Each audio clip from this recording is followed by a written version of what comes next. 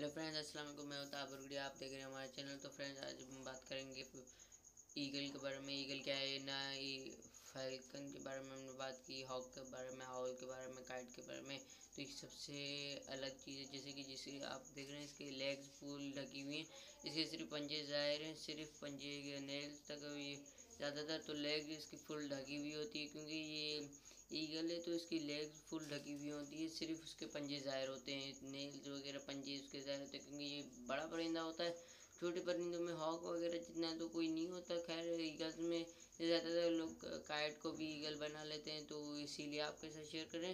تو آپ یہ دھیان رکھیے آپ یہ چیز دھیان میں رکھیے اور اس کو چیک کریے کیونکہ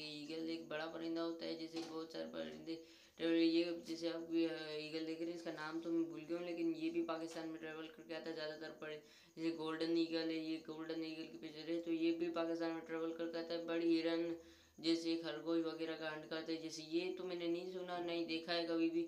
تو جیسے پیچھے لی تو آپ کو پیچھے تصویر دکھائی تھی تو یہ بھی دیکھیے۔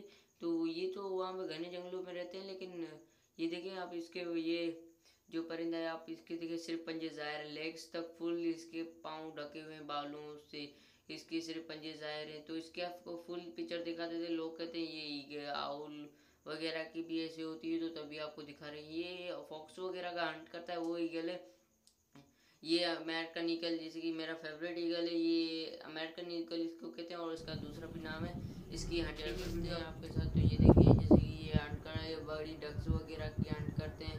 جیسے بڑی ہرن ہو گئی، چھوٹے والے، چھوٹی سائز کی جو امپایا وغیرہ ہرن ہوتے ہیں پہاڑی جیسے بکرے ہوں گے بچے ہو گئے۔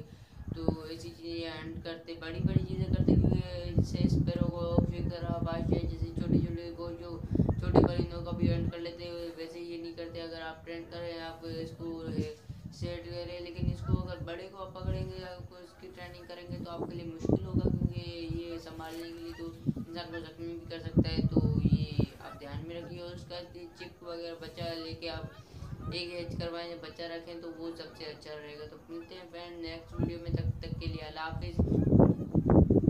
اگر ویڈیو پسند آئی تو میرے چینل کو سب سے پہلے سبسکرائب کریں اور بیل آئکن ضرور دبائیں۔ اگر ویڈیو پسند آئی تو لائک کیجیے